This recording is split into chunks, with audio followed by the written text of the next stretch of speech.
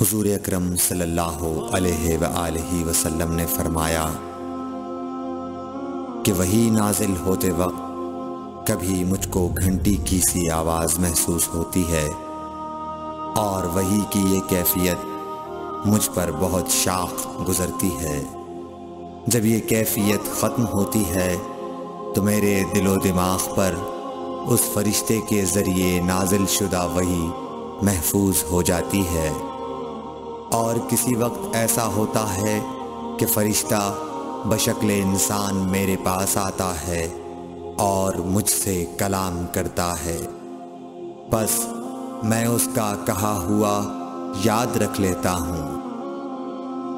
सही बुखारी, हदीस नंबर दो।